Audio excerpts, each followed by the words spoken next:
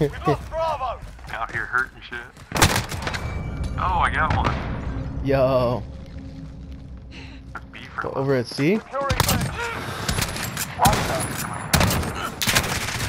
These motherfuckers, bro. Captured Bravo. God, I killed three of them at C, and then a fourth one got me. That shit makes you boy mad. Get fucked, you guys. This, this dude said I'm using a shotgun. I keep fucking him up. Uh, not a shotgun.